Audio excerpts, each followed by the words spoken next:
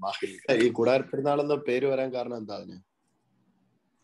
കാരണം അവരൊന്ന് പണ്ട് മരുഭൂമിയിൽ കൂടെ നടന്ന കഴിഞ്ഞ പോകുന്ന നാൽപ്പത് കൊല്ലത്തെ കൂടാരത്തിൽ താമസിച്ചതിന്റെ ഓർമ്മയ്ക്കായിട്ട് അതിന്റെ താങ്ക്സ് ഗിവിങ് ടൈം ആണല്ലോ അത് ഓർത്തുകൊണ്ട് ഞങ്ങളുടെ പൂർവികര് ആ നേരത്തെ ദൈവം എങ്ങനെ കൊണ്ടു നടന്നു എങ്ങനെ കാത്തുകൊണ്ടിരുന്നു എല്ലാം ആവശ്യമുള്ള കൊടുത്ത് കാലിന് ചെരുപ്പും ആവശ്യ ശരീരത്തിന് എല്ലാം- മന്നയും ആഹാരം എല്ലാം കൊടുത്ത് ആ കൂടെ മരുഭൂമിയിൽ എന്ന് പറഞ്ഞാൽ അവിടെ ഒന്നും ഇല്ലാത്തടത്ത് എല്ലാം കൊടുത്തു കൊണ്ടു നടന്നതിന്റെ ഉപകാര സ്മരണ തിരുനാൾ അപ്പോഴാണ് ലോകത്തുള്ള എല്ലാ ജ്യൂസും അങ്ങോട്ട് വരുന്നത് അതൊരു ഒരു കടമുള്ള തിരുനാളായിരുന്നു അവർക്ക് അവിടെ വന്നിട്ട് എങ്ങനെയാ ഹോട്ടലൊക്കെ എടുത്ത് താമസിക്കുമോ എങ്ങനെ?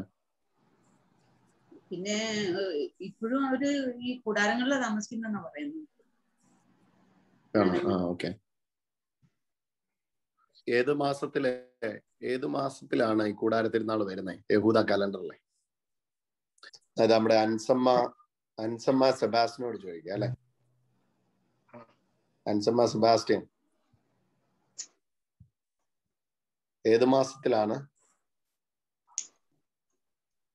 ടീഷറി ആ. മാസത്തിലെ പതിനഞ്ചാം തീയതി. ആ തീഷറി മാസത്തിലെ പതിനഞ്ചാം തീയതി അല്ലെ? ഒന്നാം ദിവസം യോങ്തോ വിശ്രമ ദിവസം പിന്നെ ഏഴാം ദിവസം ഓഷ്ണ റബ്ബ അറ്റകളെ കേന്ദ്രി. മാർച്ച് ചെയ്ത് അവരാഘോഷിക്കുന്നു എട്ടാം ദിവസം തിരുനാൾ പ്രധാനപ്പെട്ട തിരുനാൾ. ഇത് സിംഹത്തോറ എന്ന് വിളിക്കുന്നത് അന്നാണ് ഹല്ലേൽ ഗീതങ്ങളും ഒക്കെ പാടി അല്ലെ? സങ്കീർത്തനങ്ങൾ പിന്നെ നമ്മുടെ സഭാപ്രസംഗം. കുളത്തിൽ നിന്ന് ശീലോവം കുളത്തിൽ നിന്ന് വെള്ളമൊക്കെ എടുത്തോണ്ട് വന്നു. സ്വർണക്കുടത്തിലെ വെള്ളം വെള്ളമെടുത്ത പുരോഹിതന്മാര് ബലിപീഠത്തിന്റെ പ്രദക്ഷിണം വെച്ച് വളരെ ആഘോഷം ആഘോഷമായിട്ട് ഓക്കെ. നമ്മൾ ഇച്ചിരി ഓടിച്ച് വിട്ട ഒരു അധ്യായമായിരുന്നു എന്ന് തോന്നുന്നു അല്ലെ? ഏഴാമത്തെ അധ്യായം. ഓൾമോസ്റ്റ് എല്ലാ കാര്യങ്ങളും പറയാൻ കഴിഞ്ഞു എന്ന് തോന്നുന്നു. യേശുവിന്റെ സഹോദരങ്ങളെ കുറിച്ചുള്ള എക്സ്പ്ലനേഷൻ ആർക്കെങ്കിലും പറയാൻ പറ്റുമോ? ആരാണ്? ശരിക്കും യോസഫിലും മറിയത്തിലും വേറെ മക്കൾ ഉണ്ടായിരുന്നു. അങ്ങനെ സഹോദരങ്ങൾ എന്നുള്ള അർത്ഥത്തിലാണോ അത് പറയുന്നത്? അതോ സിംബ്ലിങ്സ് അല്ല പിന്നെ കസിൻസ് എന്ന ആശയത്തിലാണോ അത് പറയുന്നത്? അതെങ്ങനെയാ അത്? എങ്ങനെയാ അത് മനസ്സിലാക്കിയേക്കുന്നത്? ആരെങ്കിലും ഒരാൾ പറയാം ആ ആരാണ്? അഡൽപോസ് കസിൻസിനൊക്കെ ഒരു ഒരു ഗ്രീക്കിൽ ഒരു വാദ്യേ ഉള്ളൂ അഡൽപോസ് അപ്പൊ അത് കസിൻസ് ആവാം ബ്രദേഴ്സ് മീനിങ് അല്ല കസിൻസ് മീൻ ചെയ്യാം. ഓക്കെ അഡൽഫോസ് എന്ന പദം ഉപയോഗിച്ചിരിക്കുന്നത് ബൈബിളിൽ ഒരുപാട് പ്രാവശ്യം ഉപയോഗിച്ചിട്ടുണ്ട്. പ്രത്യേകിച്ച് പൗലോസ് ലീയുടെ ലേഖനങ്ങളിലൊക്കെ ഒരുപാട് പ്രാവശ്യം അഡൽഫോസ് എന്നുള്ള പദം ഉപയോഗിച്ചിട്ടുണ്ട്. ആ അഡൽഫോസ് പദം ഉപയോഗിച്ചിരിക്കുന്നത് ഇപ്പൊ റോമാലേഖനം പന്ത്രണ്ടാം അദ്ദേഹത്തിന് ഒന്നാമത്തെ വാക്യത്തെ സഹോദരന്മാരെ എന്ന് വിളിച്ചാ തുടങ്ങുന്നത് അതിന്റെ അർത്ഥം പൗലോസിന്റെ അമ്മയിൽ പൗലോസിനുണ്ടായ കൂടപ്പറപ്പ് എന്ന ആശയത്തിലല്ല. പിന്നെയോ? യേശുക്രിസ്തുവിൽ സഹോ സഹോദരൻ ഉദരന്മാർ അല്ലെങ്കിൽ സഹോദരത്തിൽ നിന്നുള്ളവർ യേശുക്രിസ്തുവിലുള്ള ബ്രദേഴ്സ് എല്ലാരെയും ഒരുമിച്ച് വിളിക്കുന്ന പേരാണ് സഹോദരന്മാരെ. സഹോദരിമാരെ സഹോദരന്മാരെ. അപ്പം ആ ആ വിശേഷണങ്ങളൊന്നും എന്തല്ല. അപ്പന്റെ കൂടെ അപ്പന്റെ അപ്പൻ ജന്മം കൊടുത്ത എന്റെ ജ്യേഷ്ഠനെന്നോ അനുജനെന്നോ ഉള്ള അർത്ഥത്തിൽ ഉപരിയായിട്ട് അഡൽഫോസ് എന്ന പദം കൊണ്ട് കസിൻസ് എന്നൊക്കെയാണ് വിശേഷിപ്പിക്കുന്നത് നമ്മൾ മനസ്സിലാക്കി കഴിഞ്ഞു. ഈ നമ്മൾ ഇനി എട്ടാം അധ്യായത്തിലേക്ക് പ്രവേശിക്കുമ്പോഴും വളരെ പ്രധാനപ്പെട്ട ഒരു എട്ടാം അധ്യായത്തിന് പന്ത്രണ്ട് വാക്യങ്ങൾ മാത്രമേ നമ്മൾ ഇന്ന് എടുക്കുന്നുള്ളൂ. ജസ്റ്റ് ഒരു ഇൻട്രഡക്ഷനെ പറയാൻ ഉദ്ദേശിക്കുന്നുള്ളൂ അതിനും. ഈ അധ്യായങ്ങളെല്ലാം ഈ ഒരു കൂടാരത്തിരുന്നാളിന്റെ പശ്ചാത്തലത്തിലാണ് നടക്കുന്നത്. കാരണം നമ്മളിപ്പം ഒരു ദിവസം എവിടെയെങ്കിലും പോയിട്ട് വരുന്ന പോലെ അല്ല. യഹൂദനെ സംബന്ധിച്ചിടത്തോളം ഒരു തിരുനാൾ തിരുനാളിന് പോയിട്ട് വരിക എന്നൊന്നും പറയുന്നത്. ഒരു ദിവസം പോയി വരുന്നത് പോലെ അല്ല. പല ദിവസങ്ങളിലേക്ക് നീണ്ടു നിൽക്കുന്ന ഒരു ആഘോഷത്തിന് പോവുകയാണ്. അപ്പം പോക്കും വരവും എല്ലാം കൂടെ ഏകദേശം ഒരു മിനിമം ഒരു ഒരു മാസത്തെ ഒരുക്കത്തിലാണ് അവർ പോകുന്നത്.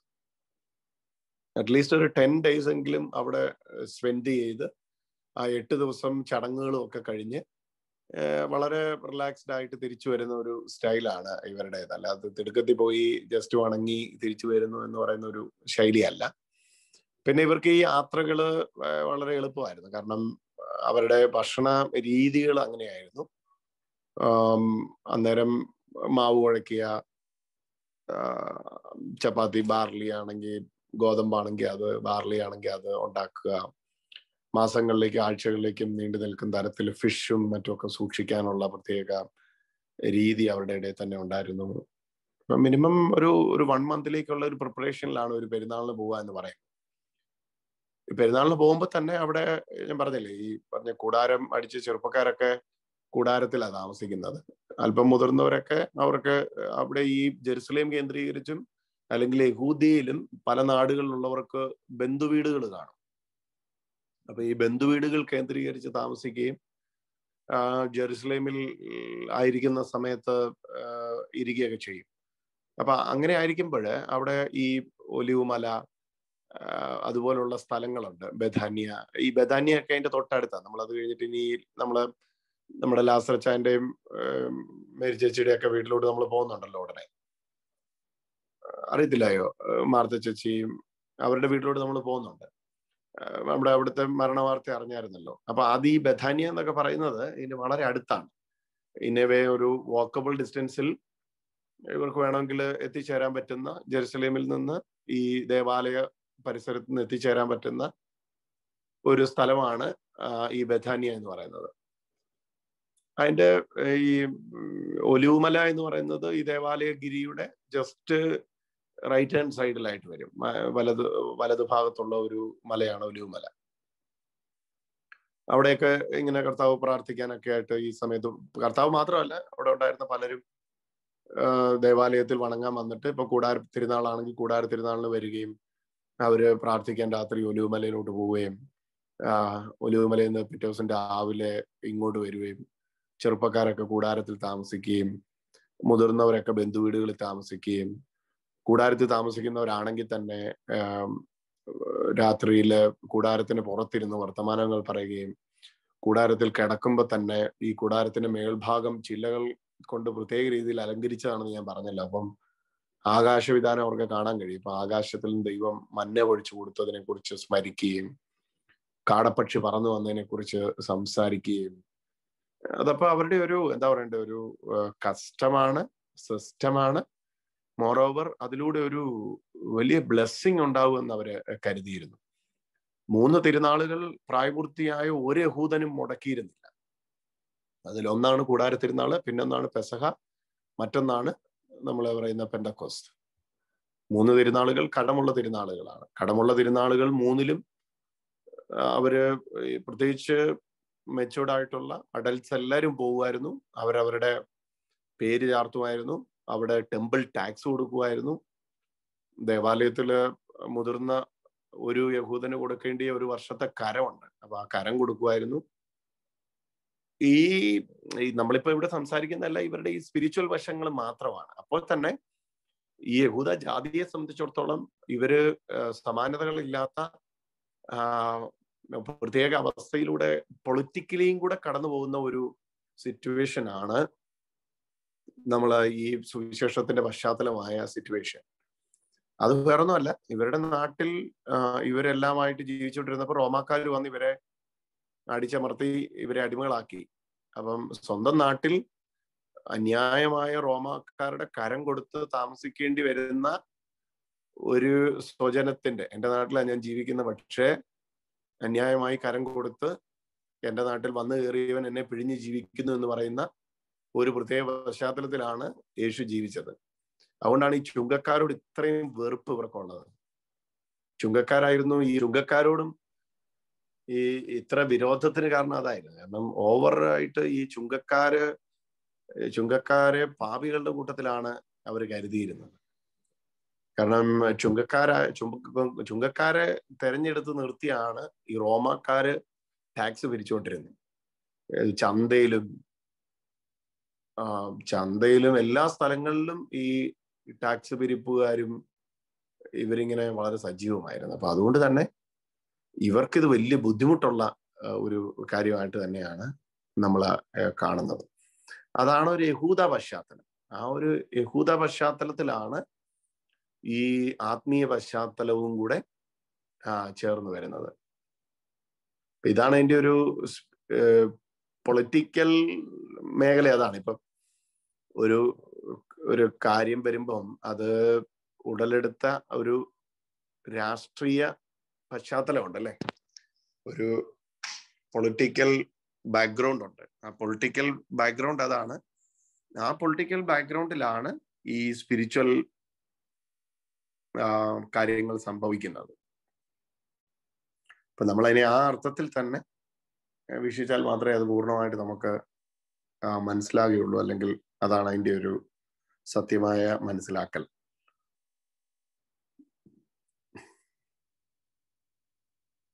ഓക്കെ.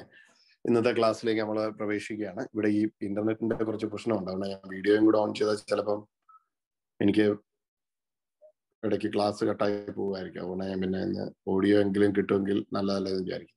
എന്തായാലും പ്രാർത്ഥിക്കാം. പിതാവിനും പുത്രനും പരിശുദ്ധാത്മാവിനും സ്തുതി. ആദിയിലെ പോലെ ഇപ്പോഴും എപ്പോഴും എന്നേക്കും. ആമേ സർവശക്തനായ ദൈവമേ പരിശുദ്ധ അങ്ങയുടെ വചനത്തെ ഞങ്ങൾ ധ്യാനിക്കുവാനായിട്ട് പോകുന്നു. വിശുദ്ധ യോഹന്നാൻ അറിയിച്ച നമ്മുടെ കർത്താവായ യേശുക്രിസ്തുവിന്റെ സുവിശേഷത്തിന്റെ ആഴങ്ങളിലേക്ക് ഇറങ്ങുമ്പോൾ ഞങ്ങളുടെ കണ്ണുകളെ പ്രകാശിപ്പിക്കണമേ. ആഴമായി ഞങ്ങളോട് ഇടപെടണമേ. ഏത് ആത്മാവിനാൽ അവിടുത്തെ വചനം എഴുതപ്പെട്ടോ അതേ ആത്മാവിനാൽ ഇത് വിഭജിപ്പാൻ വേണ്ടിയ വിശേഷമായ വരദാനം ഞങ്ങൾ എല്ലാവരുടെ മേലും പകരണമേ. പരിശുദ്ധാത്മാവിനെയും കൊണ്ട് ഞങ്ങളുടെ ഹൃദയങ്ങളെ നിറയ്ക്കേണ്ടതിനായിട്ട് പ്രാർത്ഥിക്കുന്നു. എല്ലാ മനസ്സുകളെയും ഏകീകൃതമാക്കണമേ. എല്ലാ മനസ്സുകളെയും ഒരുമിപ്പിക്കണമേ. ദൈവവചനം ഗ്രഹിക്കുവാൻ വേണ്ടിയുള്ള വലിയ അഭിഷേകം എല്ലാ ഹൃദയങ്ങളിലും പകരണമേ. അതിനുവേണ്ടി പ്രാർത്ഥിക്കുന്നു. കർത്താവായ ക്രിസ്തു ജീവന്റെ ഉറവിടമായവൻ നന്മയുടെ ആധാരമായവൻ ഞങ്ങൾക്ക് വേണ്ടി ഇന്ന് എല്ലാ മനസ്സുകളിലും അവിടുത്തെ വചനത്തെ നിക്ഷേപിച്ച് ഞങ്ങളുടെ നടുവിലേക്ക് ഇറങ്ങി വരുന്നതിനായി ഞങ്ങൾ നന്ദി പറയുന്നു. കർത്താവായ ക്രിസ്തു വഴി സമർപ്പിക്കുന്ന പ്രാർത്ഥന കേട്ട് ഉത്തരം മരളുമാറാകണമേ ആമേ ഈശ്വരശേഖർ സ്തുതിയായിരിക്കട്ടെ. നമ്മൾ ഇന്ന് കടന്നു പോകുന്നത് വിശുദ്ധ യോഹനാന്റെ സുവിശേഷത്തിന്റെ എട്ടാമത്തെ അധ്യായത്തിലാണ്. എട്ടാം അധ്യായത്തിന്റെ നമ്മൾ ഇന്ന് കേൾക്കാൻ പോകുന്ന ഭാഗം വളരെ ചെറിയൊരു ഭാഗമായിട്ട് പതിനൊന്ന് വരെയുള്ള വാക്യങ്ങളാണ്. എട്ടാം അധ്യായത്തിന്റെ ഒന്ന് മുതൽ പതിനൊന്ന് വരെയുള്ള ഭാഗമാണ്. പിടിക്കപ്പെട്ട വ്യഭിചാരിണി എന്ന വിശേഷണം നടത്തിയിരിക്കുന്ന ഒരു ഭാഗമാണ്. അപ്പൊ നമുക്ക് ഈ ഇതിന്റെ ബാക്ക്ഗ്രൗണ്ട് ഒന്ന് മനസ്സിലാക്കാനായിട്ട് ഏഴാം അധ്യായത്തിന് അമ്പത്തി മൂന്നാമത്തെ വചനവും എട്ടാം അധ്യായത്തിന് ഒന്നാമത്തെ വചനവും ചേർത്ത് വായിക്കാം. കഴിഞ്ഞ ദിവസത്തെ സംഭവങ്ങൾ നമുക്കറിയാമായിരുന്നു. അവിടെ മൂന്നാം അധ്യായത്തിൽ നമ്മൾ കണ്ട നിക്കോദിമോസ് എന്ന് പറയുന്ന വ്യക്തി വരെ പ്രവേശിക്കുകയാണ്. അങ്ങനെ കർത്താവും ഫരിസേരുമായി സംസാരിക്കുന്ന വിഷയങ്ങൾ അധികാരത്തെക്കുറിച്ചുള്ള സംസാരങ്ങളൊക്കെ കഴിഞ്ഞിട്ട് കർത്ത ഇത് കൂടാരത്തിരുന്നാളിന്റെ അതേ ബാക്ക്ഗ്രൗണ്ടിൽ തന്നെ അവതരിപ്പിക്കുന്ന രണ്ടാമത്തെ അടയാ വിഷയമാണ് ഇത്. ഇന്നലെ കഴിഞ്ഞ ദിവസം സംസാരിച്ച അതേ ബാക്ക്ഗ്രൗണ്ട് തന്നെയാണ് ഇതിനുള്ളത്. കൂടാരത്തിരുന്നാളിന്റെ ദിവസങ്ങളിൽ അല്ലെങ്കിൽ ആ ആഴ്ചകളിൽ സംഭവിച്ച മറ്റൊരു സംഭവം. ഈ പശ്ചാത്തലം ഒന്ന് ശ്രദ്ധിക്കാനായിട്ട് ഇന്നലെ യേശു സംസാരിച്ചുകൊണ്ടിരുന്നു. ഇന്നലെ സംസാരിച്ചുകൊണ്ടിരിക്കുന്നിടത്ത് നിന്ന് സംസാരം കഴിഞ്ഞപ്പോൾ ആൾക്കാരെല്ലാം വീടുകളിലേക്ക് പോയി. വീടുകൾ എന്ന് പറഞ്ഞത് ഈ പശ്ചാത്തലത്തിൽ അവരുടെ കൂടാരങ്ങളാകാം അവരുടെ ബന്ധു വീടുകളാകാം സ്വന്തം വീടുകളാകാം എന്തു ആയിക്കോട്ടെ. എന്നാൽ യേശു തനിയെ ഒലിവ് മലയിലേക്ക് പോവുകയാണ്. എട്ടാം അധ്യായം തുടങ്ങുന്ന അങ്ങനെയാണ്. യേശു ഒലിവ് മലയിലേക്ക് പോയി. അതിരാവിലെ അവൻ വീണ്ടും ദേവാലയത്തിൽ വന്നു. അപ്പം ഇത് കവർണ ഫോമിൽ വെച്ച് നടക്കുന്ന ഒരു സംഭവമല്ല. ഇങ്ങ് യൂതിയ യൂതായിലെ ദേവാലയ അങ്കണത്തിൽ വെച്ച് നടക്കുന്ന സംഭവമാണ്.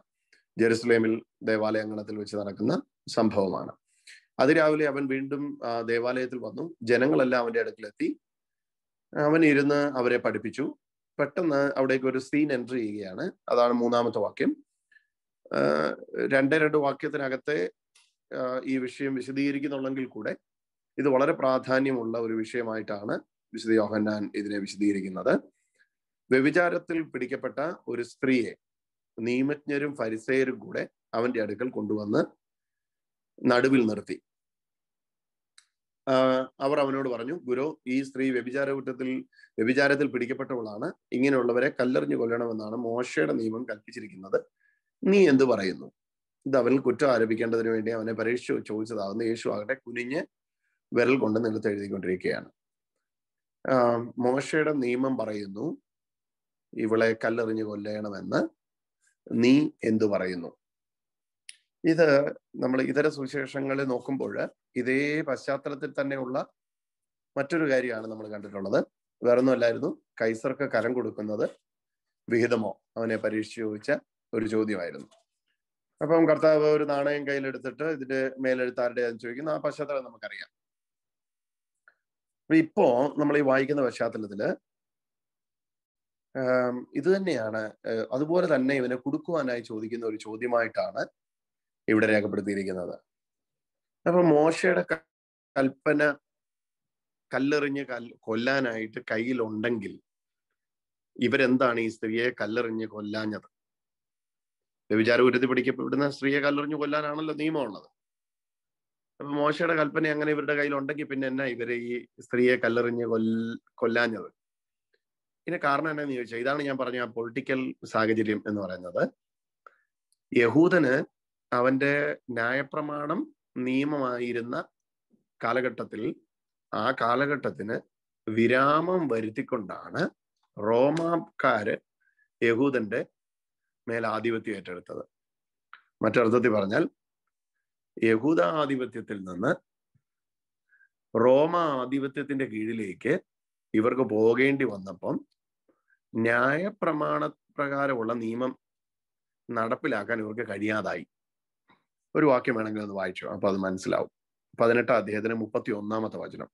ഡോക്ടർ ഒന്ന് വായിച്ച് സഹായിക്കാം യോഹനാൻ സുശേഷം പതിനെട്ട് മുപ്പത്തി ഒന്ന് പിരാത്തോസ് പറഞ്ഞു നിങ്ങൾ തന്നെ അവനെ കൊണ്ടുപോയി നിങ്ങളുടെ നിയമം അനുസരിച്ച് വിധിച്ചുകൊള്ളുകയും അപ്പോൾ യഹൂദർ പറഞ്ഞു ആരെയും വിധിക്കുന്നതിന് നിയമം ഞങ്ങളെ അനുവദിക്കുന്നില്ല.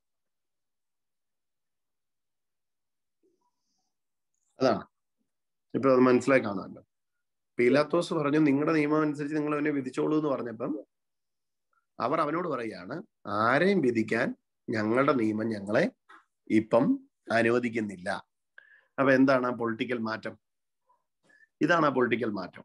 റോമ നിയമത്തിന്റെ കീഴിലേക്ക് ഇവരെ കൊണ്ടുവന്നപ്പം ഇവരുടെ ഷെഫിയത്ത് നിയമത്തിന്റെ കീഴിൽ മോശയുടെ ന്യായപ്രമാണം അനുസരിച്ചുള്ള വിധി ഇപ്പൊ ഇവർക്ക് നടത്താൻ കഴിയുന്നില്ല.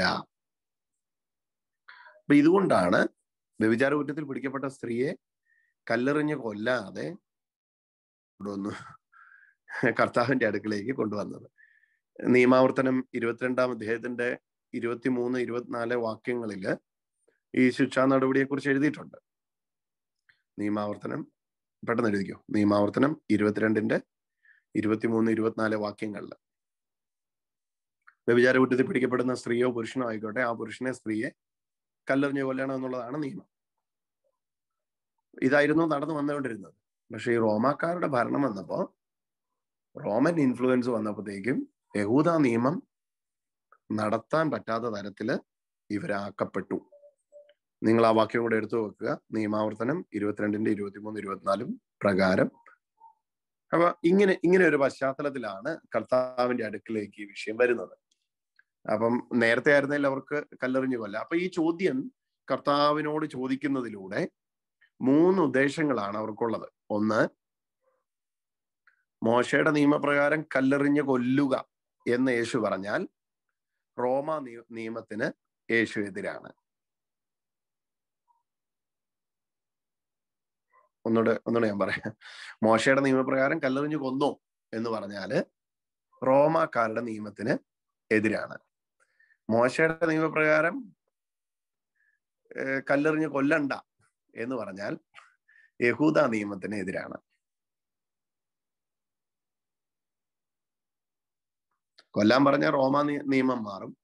റോമാ റോമ കൊല്ലരുത് കൊല്ലരുതെന്ന് പറഞ്ഞാൽ യഹൂദ നിയമത്തിന് എതിരാവും. മൂന്ന്. കല്ലെറിഞ്ഞ് കൊന്നോ. ഇനി ഒരു നിയമമില്ലാതെ നിങ്ങൾക്ക് തോന്നുന്ന പോലെ നിങ്ങൾ കല്ലെറിഞ്ഞ് കൊന്നോ എന്ന് പറഞ്ഞാൽ അവിടെ മാനുഷിക നിയമത്തിന് എതിരാവും. ഓ പാപിയെ സ്നേഹിക്കുന്നവൻ. എന്താണ്? സ്നേഹത്തിന്റെ സ്പർശനം കാണിക്കുന്ന ഇവന് അവളോട് കരുണ കാണിക്കാൻ കഴിഞ്ഞില്ലല്ലോ. അവളെ കല്ലെറിഞ്ഞ് കൊല്ലുന്ന ഒരു വിഷയം വന്നപ്പോൾ അതിന്റെ അകത്ത് ഇടപെടാതെ പോയല്ലോ. അപ്പൊ ഇടപെടാതെ പോകാനും പറ്റില്ല. ഇടപെടാനും പറ്റില്ല. ഇടപെ ഇടപെട്ട് സംസാരിക്കാനും കഴിയുകയില്ല. അപ്പൊ ഇതിന്റെ ഈ കുടുക്ക് നിങ്ങൾക്ക് മനസ്സിലാവുന്നു എന്ന് ചിന്തിക്കുന്നു. കല്ലെറിഞ്ഞ് കൊന്നോ എന്ന് പറഞ്ഞാൽ റോമാ നിയമത്തിനെതിരെ. കല്ലെറുത് കല്ലെറിഞ്ഞ് കൊല്ലരുത് എന്ന് പറഞ്ഞാൽ യഹൂദ നിയമത്തിനെതിരെ. ഇനി ഒന്നും പറയാതെ വിട്ടാൽ അത് സ്വാഭാവിക നിയമത്തിന് എതിരെ. അപ്പൊ ഇവിടെയാണ് കർത്താവ് വളരെ നിർണായകമായ ഒരു സ്റ്റെപ്പ് എടുക്കുന്നത്. അവൻ കുറ്റം ആരോപിക്കേണ്ടതിന് വേണ്ടിയാണ് അത് അവനെ പരീക്ഷ ചോദിച്ചത്. യേശു ആകട്ടെ കുനിഞ്ഞ് വിരൽ കൊണ്ട് നിലത്ത് എഴുതിക്കൊണ്ടിരുന്നു. കർത്താവ് കുനിഞ്ഞ് വിരൽ കൊണ്ട് നിലത്ത് എഴുതിക്കൊണ്ടിരുന്നു. കല്ലെറിഞ്ഞ് കൊല്ലാനും പറഞ്ഞില്ല. കല്ലെറിഞ്ഞ് കൊല്ലണ്ടെന്നും പറഞ്ഞില്ല. കർത്താവ് നിലത്ത് എഴുതിക്കൊണ്ടിരുന്നു. എന്നതാ കർത്താവ് നിലത്ത് എഴുതിയത് കർത്താവ് എന്താ നിലത്ത് എഴുതിയത് എന്നുള്ളതിനെ കുറിച്ച് കൃത്യമായ എന്താണ് കർത്താവ് നിലത്ത് എഴുതിയത് എന്നുള്ളതിനെ കുറിച്ചുള്ള ഒരു കൃത്യമായ ഇന്നതാ എഴുതിയെന്ന് ആരും കണ്ട് എഴുതി വെച്ചിട്ടില്ല. അഞ്ച് അനുമാനങ്ങളിലാണ് five conclusions regarding what Jesus was writing അഞ്ച് ഉപസംഹാരത്തിൽ നമുക്ക് എത്താൻ പറ്റും. അത് അഞ്ചും പെട്ടെന്ന് വേണമെങ്കിൽ ഒന്ന് നോട്ട് ചെയ്താൽ മതി. എഴുതി ഫുൾ എഴുതി എടുക്കണമെന്നില്ല. എന്തായിരിക്കണം യേശു നിലത്തിരുന്ന് എഴുതിയത്? അഞ്ച് അഭിപ്രായങ്ങളിലേക്ക് നമുക്ക് എത്താം. ഇത് ദൈവശാസ്ത്രജ്ഞന്മാരുടെ ഇടയിലെ അഭിപ്രായം തന്നെയാണ്. വിശുദ്ധ ജെറോമിന്റെ ഒക്കെ അഭിപ്രായത്തിൽ തന്റെ മുമ്പിൽ നിൽക്കുന്ന മനുഷ്യരുടെ വ്യഭിചാര കുറ്റമോ അല്ലെങ്കിൽ മറ്റു പാപങ്ങളോ ആണ് യേശു നിലത്ത് എഴുതിയത് എന്നുള്ളതാണ് വിശുദ്ധ ജെറോം അടങ്ങുന്ന സഭാ പിതാക്കന്മാരുടെ അല്ലെങ്കിൽ വ്യാഖ്യാതാക്കളുടെ വ്യാഖ്യാനത്തിൽ അവർ ഊന്നൽ കൊടുത്തു പറയുന്നത് എന്ന് പറഞ്ഞാൽ കർത്താവ് നിലത്ത് എഴുതിക്കൊണ്ടിരുന്നത് എറിയാൻ വന്ന ഓരോരുത്തരുടെ പേരും അവരുടെ പാപങ്ങളുമാണെന്ന് ഉദാഹരണം ലൂക്കോസ് എന്ന പേരുള്ള ഒരാളുണ്ടെന്ന് അവിടെ ഇരിക്കട്ടെ. ലൂക്ക ഇത്രാം തീയതി ഇന്ന സമയത്ത് ഇന്ന ആളുടെ കൂടെ വ്യഭിചരിച്ചിട്ടുണ്ട്. രഹസ്യത്തിലോ പരസ്യത്തിലോ ലൈംഗിക പാപം വളരെ മുൻപന്തിയിൽ നിന്നിരുന്ന ഒരു സമൂഹമാണത്. അത് നമ്മൾ തിരസ്കരിക്കരുത്. ബഹുഭാര്യത്വം പൊളിഗാമി സിസ്റ്റം അവിടെ അലൗഡ് ആയിരുന്നിട്ട് പോലും ഇങ്ങനെയുള്ള ഇമ്മോറൽ പ്രവർത്തനങ്ങൾ ഒരുപാട് ലിസ്റ്റ് ചെയ്യപ്പെട്ടിരുന്നു ആ ഒരു കമ്മ്യൂണിറ്റിയിൽ അപ്പൊ ജെറോമിന്റെ അഭിപ്രായത്തിൽ യേശു എഴുതിയത് എതിരാളികളുടെ പാപമാണ് എന്നുള്ളതാണ്. രണ്ടാമത്തെ ഒരു അഭിപ്രായം റോമ നിയമവ്യവസ്ഥ അനുസരിച്ച് വിധികർത്താവ് ശിക്ഷ നടപ്പാക്കുന്നതിന് മുന്നമേ ശിക്ഷ ഒരു പേപ്പറിൽ അല്ലെങ്കിൽ അങ്ങനെ ഏതെങ്കിലും ഒരു സ്ഥലത്ത് എഴുതാറുണ്ട്. മറ്റു ചില വ്യാഖ്യാതാക്കളുടെ അടിസ്ഥാനത്തിൽ റോമ നിയമവ്യവസ്ഥയ്ക്കനുസരിച്ച് കർത്താവ് ശിക്ഷയാണ് നിലത്ത് എഴുതിയത് എന്ന് പറയുന്നവരുണ്ട്. റോമ നിയമവ്യവസ്ഥ അനുസരിച്ച് കർത്താവ് ശിക്ഷ നേരത്തെ നേരത്തെ ശിക്ഷ എഴുതിയിട്ടാണ് റോമ നിയമം അനുസരിച്ച് അത് പ്രഖ്യാപിക്കുന്നത്. അപ്പം ശിക്ഷ പ്രഖ്യാപിക്കുന്നതിന് മുമ്പ് ശിക്ഷയാണ് കർത്താവ് നിലത്തിരുന്ന് എഴുതിയതെന്ന് പറയുന്നവരുണ്ട്. അപ്പൊ ഒന്നാമത്തേത് എതിരാളികളുടെ പാപം നിലത്തെഴുതിയെന്ന് പറയുന്നവരുണ്ട്. രണ്ടാമത്തേത് റോമ നിയമവ്യവസ്ഥ അനുസരിച്ച് വിധികർത്താവ് ജഡ്ജ് ശിക്ഷ നേരത്തെ എഴുതിയ ശേഷമാണ് അത് വായിക്കുന്നത്. അപ്പൊ അങ്ങനെ ശിക്ഷ ആറാം വാക്യത്തിൽ എഴുതി ഏഴാം വാക്യത്തിൽ അത് പ്രഖ്യാപിക്കുന്നതായിട്ടും കാണാം. മനസ്സിലാവുന്ന ഭാഷയിൽ എഴുതിയാൽ മതി. മൂന്നാമത്തെ അനുമാനം. യരമ്യ പ്രവാചകന്റെ പതിനേഴിന്റെ പതിമൂന്ന്. യരമ്യാവ് പതിനേഴിന്റെ പതിമൂന്നിൽ ഒരു പ്രവാചക ശൈലിയുണ്ട്. എരമ്യ പതിനേഴിന്റെ പതിമൂന്നിൽ ഒരു പ്രവാചക ശൈലിയുണ്ട്. അതിങ്ങനെ എഴുതുന്നത് പോലെ അഭിനയിച്ച് കാണിക്കുന്ന ഒരു ശൈലിയാണ്. അതാണ് കർത്താവ് ഇവിടെ ചെയ്തതെന്ന് ചിലർ അനുമാനിക്കുന്നു. പക്ഷേ ജെറമിയ പ്രവാചകന്റെ പതിനേഴിന്റെ പതിമൂന്നിൽ ഒരു പ്രൊഫറ്റിക്കൽ വേ ഓഫ് റൈറ്റിംഗ് ഉണ്ട്. അങ്ങനത്തെ ഒരു സ്റ്റൈലുണ്ട് അതാണ് കർത്താവ് ഇവിടെ ഫോളോ ചെയ്തതെന്ന് ചിലർ പറയുന്നു.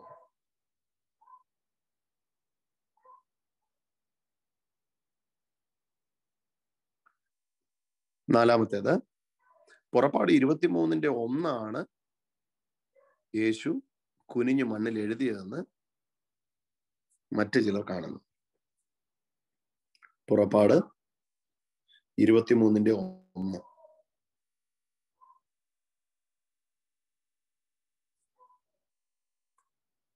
ആണ് കർത്താവ് കുനിഞ്ഞു എന്ന് എഴുതിയതെന്ന് മണ്ണിൽ എഴുതിയെന്ന് ചിലർ കാണുന്നു.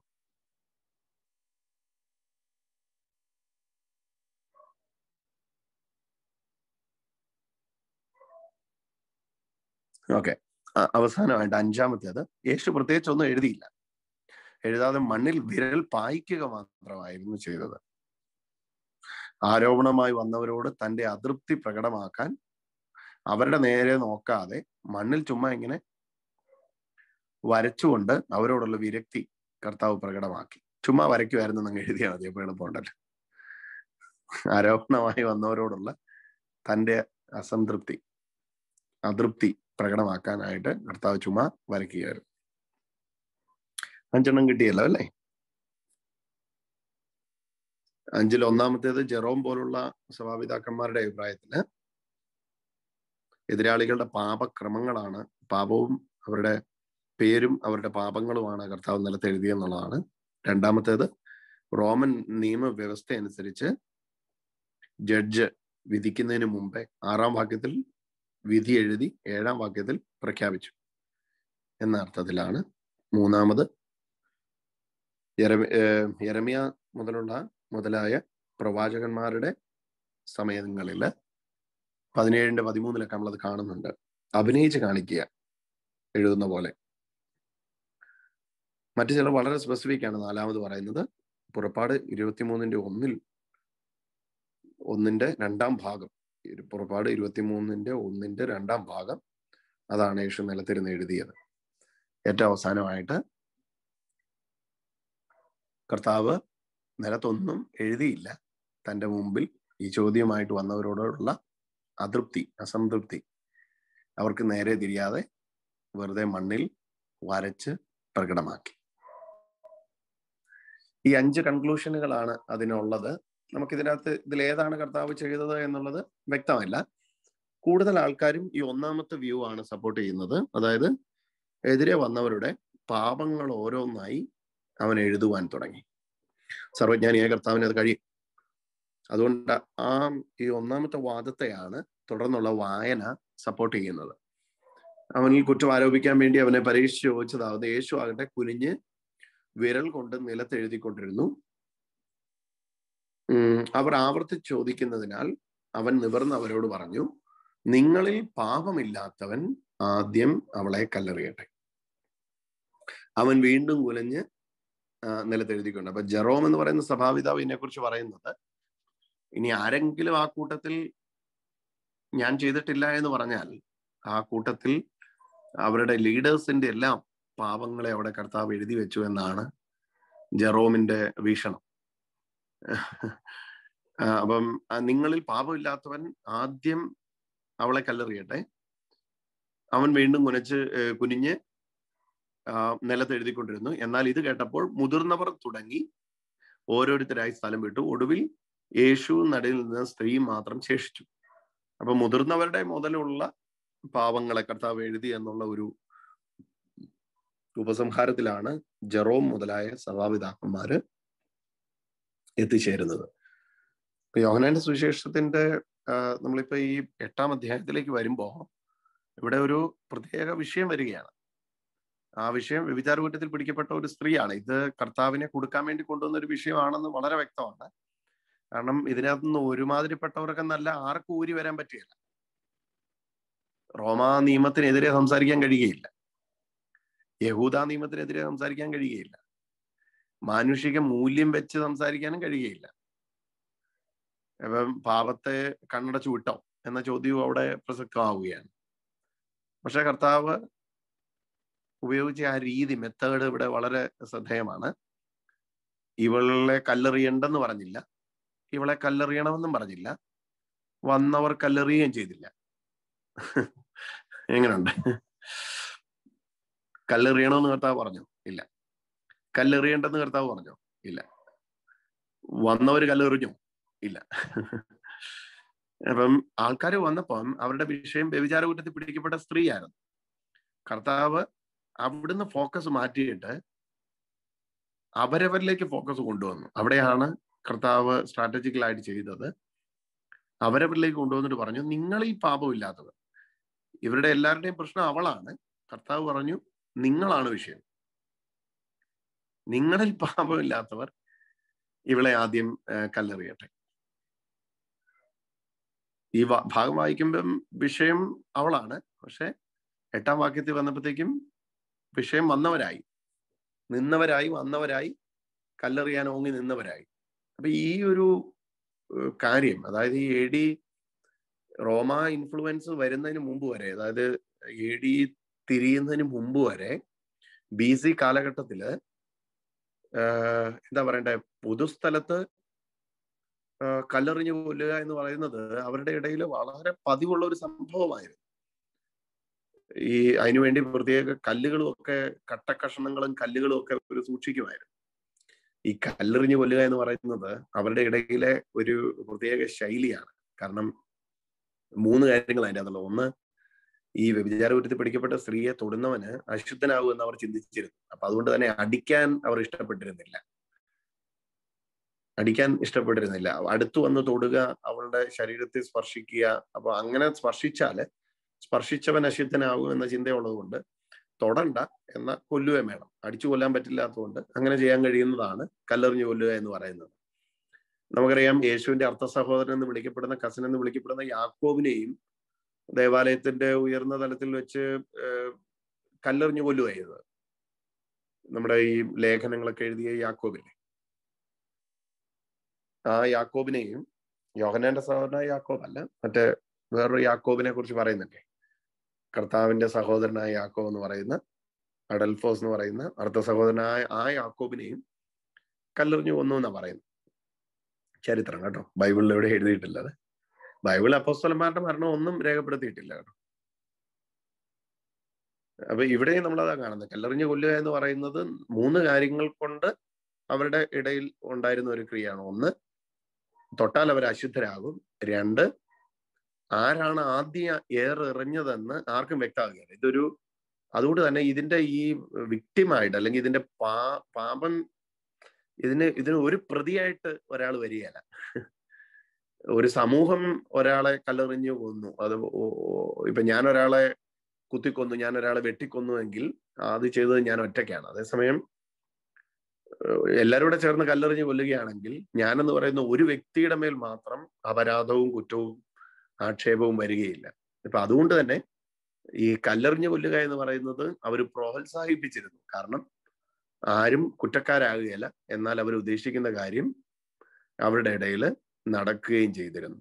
ഒന്ന് തൊട്ടാൽ അശുദ്ധരാകും എന്നുള്ളത് കൊണ്ട് രണ്ട് പ്രതിസ്ഥാനത്ത് ആരും വരേണ്ടിയ രീതിയില്ലല്ലോ എന്ന് പറയുന്നതുകൊണ്ട് അപ്പൊ ഈ മൂന്നാമത് ഈ കലറിഞ്ഞ കൊല്ലുന്ന ഗ്രൂപ്പിൽ പോലും യഹൂദന്റെ ഇടയിൽ ഈ സീനിയോറിറ്റി വളരെ വ്യക്തമായിരുന്നു.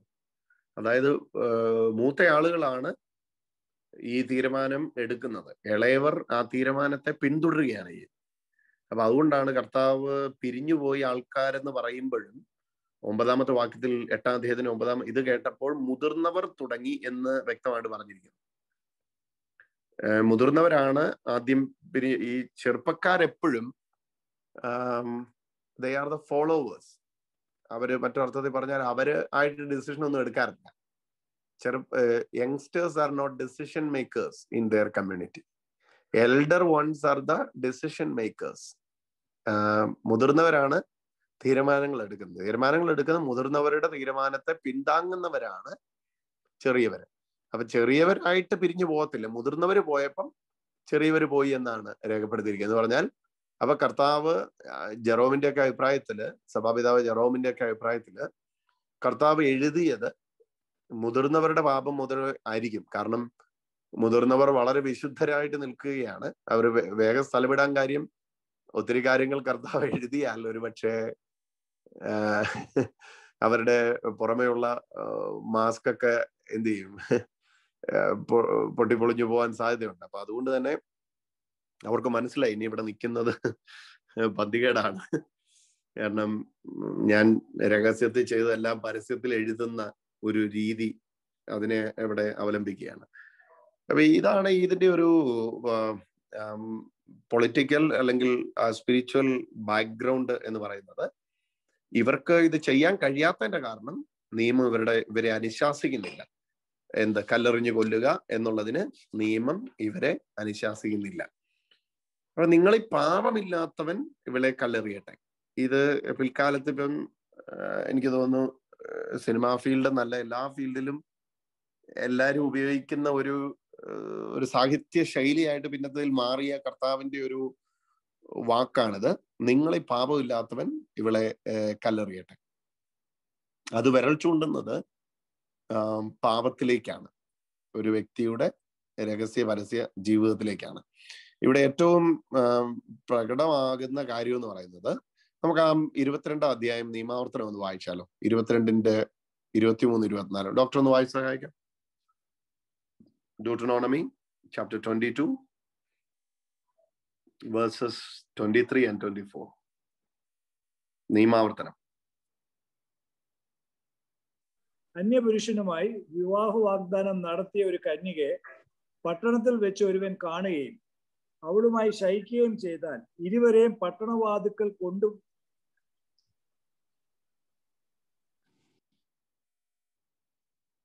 കൊണ്ടുപോയി കല്ലെറിഞ്ഞു കൊല്ലണം.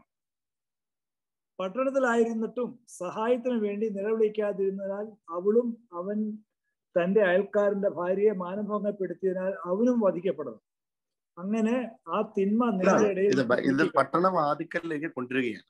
പട്ടണവാതിക്കലിലേക്ക് കൊണ്ടുവരികയാണ്. ഇത് ഒരു ഗ്രാമത്തിൽ നടക്കുന്ന ഒരു സംഭവം എന്നുള്ളതിലുപരിയായിട്ട് ഇത് വലിയൊരു കമ്മ്യൂണിറ്റിയിൽ നടക്കുന്ന സംഭവമായിട്ടാണ് ഇതിനെ കാണുന്നത്. ഞാൻ ഒരു പരിധി വരെ കുറച്ചുകൂടി ഒരു ബാക്ക്ഗ്രൗണ്ട് എന്ന് പറയാം. യഹൂദന് ലോകത്തൊരൊറ്റ ദേവാലയം ഉണ്ടായിരുന്നുള്ളൂ. ബാക്കിയുള്ളതെല്ലാം സിനഗോഗുകളായിരുന്നു. അപ്പം ഒരു പെരുന്നാളോ തിരുനാളോ ഒക്കെ വരുന്ന സമയത്ത് എല്ലാ നാട്ടിൽ നിന്നുള്ള ആൾക്കാർ അവിടെ ഒരുമിച്ച് കൂടും. ഒരുമിച്ച് കൂടുമ്പോൾ പലതരത്തിലുള്ള ആൾക്കാർ ഇവിടെ ഉണ്ടെന്ന് കൂട്ടിക്കും. കച്ചവടത്തിന് വേണ്ടി വരുന്നവർ അവിടെ ഉണ്ട്. ഇനി ദൈവാനുഗ്രഹം സ്വീകരിക്കാൻ വേണ്ടി വരുന്നവരുണ്ട് അപ്പോൾ തന്നെ അത് വേറൊരു സൈഡിൽ എല്ലാ അനാചാരങ്ങളുടെയും അധാർമികതയുടെയും കൂടെ ഒരു മാർക്കറ്റായിട്ടും ഇന്നേ സൈഡിൽ മാറുന്നുണ്ട്. അപ്പൊ അതുകൊണ്ട് തന്നെ ഈ ടെമ്പിൾ കോർട്ട് സിസ്റ്റം നമ്മളത് സൻഹിദ്രീൻ സംഘം എന്നൊക്കെ മുന്നമേ മഹാസൻഹിദ്രീൻ സംഘം ഗ്രേറ്റ് സൻഹിദ്രീൻ അതൊക്കെ നമ്മൾ പഠിച്ചിട്ടുള്ളതാണ് ഞാനത് അങ്ങനെ തന്നെ ടെമ്പിൾ കോർട്ട് സിസ്റ്റം വളരെ അലേർട്ടഡ് ആണ് ഈ ഒരു ടൈമിൽ എസ്പെഷ്യലി ഡ്യൂറിങ് ഫെസ്റ്റിവൽ ടൈംസ് അല്ലെങ്കിൽ ഫെസ്റ്റിവൽ സീസൺസിൽ മൊറാലിറ്റി ഇമോറൽ ട്രാഫിക്സ് ഇത് അതിന്റെ പൂർണതയിലുണ്ട്. അപ്പൊ അതുകൊണ്ട് തന്നെ ഈ എ ഡി തുടങ്ങുന്നതിന് മുമ്പുള്ള ബി സിയിൽ മിക്കവാറും ഇങ്ങനത്തെ ഫെസ്റ്റിവലുകളിൽ ഇത് നടപ്പാക്കുക എന്ന് പറയുന്നത് അവിടുത്തെ ഒരു ഒരു എന്താ പറയണ്ടേ ഒരു സാധാരണ സംഭവമാണ്. എന്ന് പറഞ്ഞാൽ അവരുടെ നിയമത്തിന്റെ ഒരു സാധാരണ സംഭവമാണ്. കാരണം ഇതിനെ ഇതിലേക്ക് കൊണ്ടുവരുന്നത് നിയമജ്ഞരും ഫരിസേരും കൂടെ കൂട്ടിയാണ്.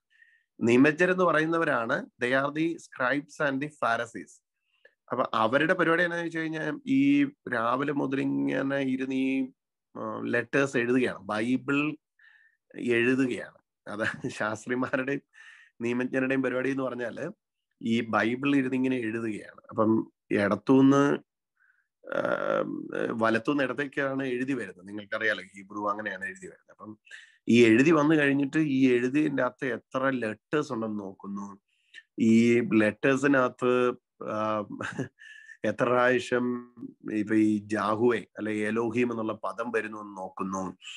ആ പദത്തിന്റെ ആ പദം എഴുതുന്നതിന് മുമ്പ് പേന കഴുകിയോ അല്ലെ പുതിയ പേന എടുത്താണ് എഴുതിയെന്ന് നോക്കുന്നു? അപ്പൊ അങ്ങനെ they are more in to writings rewritings അതുപോലെ തന്നെ ഈ ട്രാൻസ്ലേഷൻസ് അങ്ങനെയൊക്കെയുള്ള ഗ്രൂപ്പാണ് ഈ സ്ക്രൈബ്സ് എന്ന് പറയുന്നത്. ഈ നിയമജ്ഞർ എന്ന് പറയുന്ന ഈ ഗ്രൂപ്പും അതിനോട് ചേർന്ന് വരുന്നവർ തന്നെയാണ്. സോ ഇവരാണ് ഈ മോശയുടെ ന്യായപ്രമാണം അക്ഷരാർത്ഥത്തിൽ നടപ്പാക്കണം എന്ന് ആഗ്രഹിക്കുന്നവർ ഇപ്പൊ ഒരു ഫെസ്റ്റിവൽ സീസൺ മുമ്പിൽ കാണുക. ഒലിവുമലയിലേക്ക് യേശു പോകുന്നു. ബാക്കി എല്ലാവരും അവിടെ ഇവിടങ്ങളിൽ തന്നെയൊക്കെ പാർക്കുന്നു. നേരം പരവര വെളുത്തപ്പം കർത്താവ് ഉപദേശിക്കാനായിട്ട് വരുന്നു. അത് കേൾക്കാൻ വേണ്ടി ആൾക്കൂട്ടം വരുന്നു. ആൾക്കൂട്ടത്തിന്റെ നടുവിലേക്ക് ഒരു സ്ത്രീയെ കൊണ്ടുവരുന്നു. ആ കൊണ്ടുവരുന്ന സ്ത്രീയെ മാത്രമേ കാണുന്നുള്ളൂ. പുരുഷനെ കാണുന്നില്ല.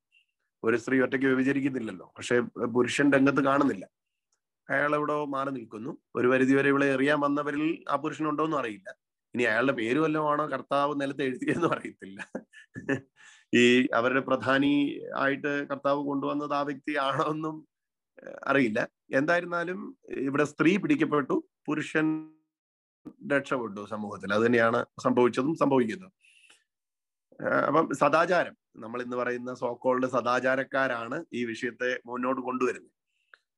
ഇത് ഈ തേർഡ് സെഞ്ചുറി വന്നപ്പം ഇതിപ്പം പഠിക്കുന്നവരാണ് ഞാൻ കുറച്ചുകൂടെ പറയാം. തേർഡ് സെഞ്ചുറി വന്നപ്പോൾ ഒരു കൂട്ടര് വളരെ ശക്തമായിട്ട് ഈ ഒരു ഖണ്ണിയക്കെതിരെ എഴുന്നേറ്റായി അതായത് യോഹനാന്റെ സുവിശേഷത്തിലെ എട്ടാം അധ്യായത്തിന്റെ ഒന്ന് മുതൽ പതിനൊന്ന് വരെയുള്ള വാക്യങ്ങളുടെ ഈ ഒരു ഖണ്ണിക എടുത്തു കളയണം. കാരണം പാപത്തെ വളരെ ലൈറ്റ് ആയിട്ടാണ് ഇവിടെ കാണിച്ചിരിക്കുന്നത്. ഈ ഒരു കണ്ണിക ലൈംഗിക പാപം ഈ ഒരു ലൈംഗിക പാപത്തെ വളരെ ലൈറ്റ് ആയിട്ട് കർത്താവളെ വെറുതെ വിട്ടത് ഈ അവർക്ക് ഇഷ്ടപ്പെട്ടില്ല.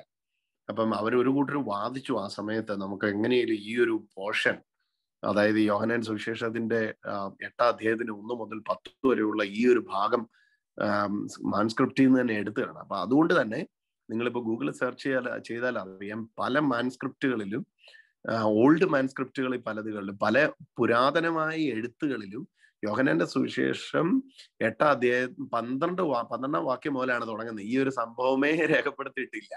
അതിന് കാരണം കർത്താവ് ഇവിടെ വളരെ ലൈറ്റ് ആയിട്ടാണ് ഈ വിഷയത്തെ ഡീൽ ചെയ്യുന്നത്. കർത്താവ് അത് കഴിഞ്ഞ് യേശു നിവരുന്നു. പത്താം വാക്യം നോക്കി യേശു നിവർന്ന് അവളോട് ചോദിച്ചു സ്ത്രീയെ അവർ എവിടെ? ആരും നിന്നെ വിധിച്ചില്ലേ? അവൾ പറഞ്ഞു ഇല്ല. കർത്താവ് ഇല്ല കർത്താവെ യേശു പറഞ്ഞു ഞാനും നിന്നെ വിധിക്കുന്നില്ല പോയിക്കൊള്ളുക ഇനിമേൽ പാപം ചെയ്യരുത്. അപ്പൊ ഇത്രയും മാത്രമേ കർത്താവ് പറയുന്നുള്ളൂ. പോയിക്കൊള്ളുക ഇനിമേൽ പാപം ചെയ്യരുത് എന്ന് മാത്രമേ പറയുന്നുള്ളൂ. എന്ന് പറഞ്ഞാൽ ഇതുവരെയുള്ള നിന്റെ പാപ പാപത്തിന് ഇന്ന് ഞാൻ ഇവിടെ വെച്ച് ക്ഷമ തരുന്നു. ഈ സിന്നിന്റെ പണിഷ്മെന്റ് നിനക്കില്ലേ ഉണ്ടോ? അതിനി എറ്റേണൽ പണിഷ്മെന്റിലേക്കാണോ പോകുന്നത് അത് എറ്റേണൽ ഡാമിനേഷനിലേക്കാണോ പോകുന്നത് ഇതിന്റെ പരിണിത ഫലം നീ അനുഭവിക്കേണ്ടി വരുമോ? ഇതൊന്നും അല്ല ഇവിടെ കർത്താവ് പറയുന്നത്. ഇത്ര മാത്രമേ കർത്താവ് അവളോട് വളരെ ക്ലിയർ ആയിട്ട് പറയുന്നുള്ളൂ. അവൾ പറഞ്ഞു ഇല്ല എന്നെ ആരും പറഞ്ഞില്ല എന്ന് പറഞ്ഞപ്പോ യേശു ഞാനും നിന്നെ വിധിക്കുന്നില്ല. പോയിക്കൊള്ളുക. എന്ന് പറഞ്ഞാൽ വിധിക്കാൻ യോഗ്യതയുള്ളത് എനിക്കാണ്. ഞാൻ നിന്നെ വിധിക്കുന്നില്ല. പോയിക്കൊള്ളുക. ഇനിമേൽ പാപം ചെയ്യരുത് എന്ന് മാത്രമേ കർത്താവ് പറയുന്നുള്ളൂ. അപ്പൊ അതുകൊണ്ട് തന്നെ ഈ ഒരു പോർഷൻ ഈ ഓൾഡ് മാൻസ്ക്രിപ്റ്റ് നിന്ന് പലരും റിമൂവ് ചെയ്ത് കളഞ്ഞു. കാരണം ഇത് സമൂഹം സമൂഹത്തിൽ ഒരു നല്ല സന്ദേശം കൊടുക്കത്തില്ല. കാരണം വിചാരകുറ്റത്തിൽ പിടിക്കപ്പെട്ട ഒരു സ്ത്രീയെ വളരെ ലൈറ്റ് ആയിട്ട് ഇനി പാവം ചെയ്യരുതെന്ന് മാത്രം പറഞ്ഞു വിട്ടാൽ എങ്ങനെയാ ശരിയാകുന്നേ അവളെ കാര്യമായ രീതിയിൽ ഒന്ന് ശിക്ഷിച്ചിട്ടല്ലായിരുന്നു വിടേണ്ടത് എന്ന ചിന്ത കൊണ്ട് ഈ ഈ ഒരു ഭാഗം ഓൾഡ് മാൻസ്ക്രിപ്റ്റുകളിൽ നിന്ന് ആദ്യകാല പുരാതന എഴുത്തുകളിൽ നിന്ന് നീക്കം ചെയ്തിരുന്നു എന്നുള്ളതും ജസ്റ്റ് പഠിക്കുന്ന നിങ്ങൾ മനസ്സിലാക്കാൻ വേണ്ടി പറയട്ടെ. അപ്പൊ എന്താണ്? ഇതാണ് ഇതിന്റെ ഒരു അണ്ടർസ്റ്റാൻഡിങ്ങിന് വേണ്ടിയ ബേസിക് കാര്യങ്ങൾ ഇതിപ്പം ജസ്റ്റ് അഭിപ്രായങ്ങളും അതിന്റെ പശ്ചാത്തലവുമാണ് ഞാൻ പറഞ്ഞത്. ഇനി ബേസിക്കലി എതിരേക്കാണ് യോഹന്നാൻ നമ്മെ കൊണ്ടുപോകുന്നത്. യോഹന്നാൻ നമ്മെ കൊണ്ടുപോകുന്നത് ഈ ഈ ഉദാഹരണ ഈ അടയാളത്തിലൂടെയും അതുപോലെ തന്നെ മറ്റ് അടയാളങ്ങളിലൂടെയെല്ലാം ഇനി യോഹനൻ അടുത്ത പ്രമേയം അവതരിപ്പിക്കുകയും തുടങ്ങുകയാണ്. ഇവിടെ എത്രാമത്തെ വാക്യം? പന്ത്രണ്ടാമത്തെ വാക്യം. യേശു ലോകത്തിന്റെ പ്രകാശം എന്ന് പറഞ്ഞ്. യേശുവാണ് ലോകത്തിന്റെ പ്രകാശം എന്ന് എട്ടാം അധ്യായത്തിൽ തുടങ്ങുന്ന ഈ പ്രമേയം ഒമ്പതാം അധ്യായം മുഴുവൻ തുടരുകയാണ്. അതുകൊണ്ടാണ് കണ്ണിന് പ്രകാശം കൊടുക്കുന്നേ. ഒമ്പതാം അധ്യായത്തിന് ഒന്നാം വാക്യത്തിൽ പിറവിയിലെ കുരുടനായ ഒരു മനുഷ്യന്റെ കണ്ണിന് യേശു പ്രകാശം കൊടുക്കുന്നു. അപ്പം വീഞ്ഞ് വർദ്ധിപ്പിച്ചിട്ട് പതിനഞ്ചാം അധ്യായം എത്തുമ്പം കർത്താവ് പറയുന്നു ഞാനാണ് വീഞ്ഞ്. അല്ലെങ്കിൽ ഞാൻ I am the true vineyard ഞാനാണ് മുന്തിരിവള്ളി എന്ന് പറയുന്നു. അപ്പം അപ്പം വർദ്ധിപ്പിച്ചിട്ട് കർത്താവ് പറയുന്നു എന്താണ്? ഞാൻ സ്വർഗത്തിൽ നിന്ന് ഇറങ്ങി വന്ന ജീവന്റെ അപ്പമാകുന്നു. ഓക്കെ. കൂടാര തിരുനാൾ ദിവസത്തിൽ വെള്ളം അവിടുന്ന് കോരി ഗോൾഡൻ വെസലിൽ കൊണ്ടുവന്ന് യാഗപീഠത്തെ വലയം വെച്ച് നീരാർജനം ഷാളനം നടത്തുമ്പോൾ യേശു നിന്നോട് പറയുന്നു വിശ്വസിക്കുന്നവന്റെ ഉള്ളിൽ നിന്ന് തിരുവഴുത്ത് പറയുന്ന പോലെ ജീവജലത്തിന്റെ നദികൾ ഒഴുകും. ശബരിയാക്കാർത്തിയോട് പറഞ്ഞു പറഞ്ഞു നീ എന്റെ അടുക്ക വരികയും ഞാൻ നിനക്ക് തരികയും ചെയ്താൽ പിന്നെ നിനക്ക് ഒരിക്കലും ദാഹിക്കയില്ല. നിന്റെ ഉള്ളിൽ നിന്ന് നിത്യജീവങ്കിലേക്ക് പൊന്തി വരുന്ന അരുവിയായി അത് മാറും. അപ്പൊ വെള്ളം തൊട്ടിട്ട് താനാണ് ഉറവ എന്ന് പറയുന്നു.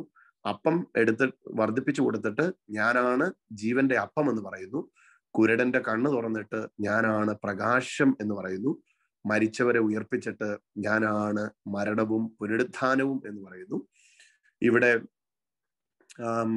വ്യഭിചാര കുറ്റത്തിൽ പിടിക്കപ്പെട്ട സ്ത്രീയെ കല്ലെറിഞ്ഞു കൊല്ലേണ്ട സ്ത്രീയെ കല്ലെറിഞ്ഞു കൊല്ലാതെ വെറുതെ വിട്ടിട്ട് നിയമം അല്ല നിയമത്തെക്കാൾ വലുത് കരുണയാണ് എന്നുള്ളത് കർത്താവ് വിശദീകരിക്കുന്നു.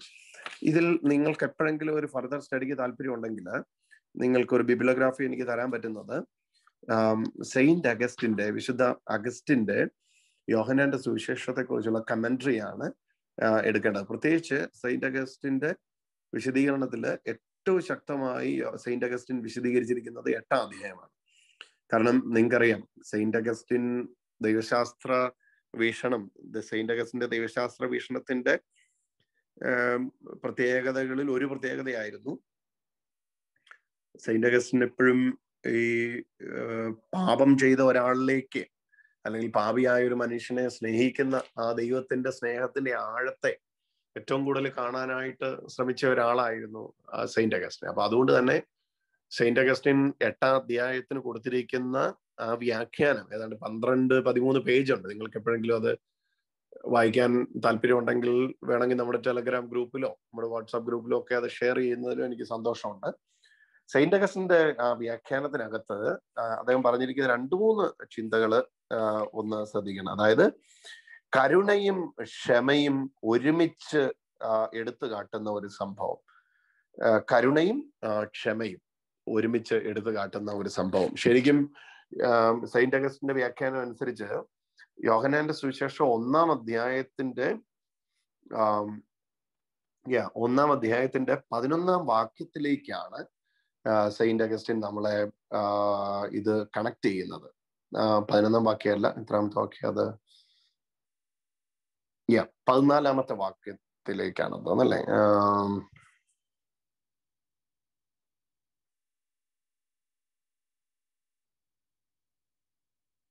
മോശ നിമിത്തം നിയമം വന്നു കൃപയും സത്യവും. ആ ഓക്കെ യേശുക്രിസ്തു മുഖാന്തരം വന്നു എന്ന് പറയുന്ന ഈ ഭാഗവുമായിട്ടാണ് യോഹന്നാൻ ഇതിനെ കണക്ട് ചെയ്യുന്നത്. പതിനേഴാമത്തെ വാക്യം. എന്തുകൊണ്ടെന്നാൽ നിയമം മോശ വഴി നൽകപ്പെട്ടു.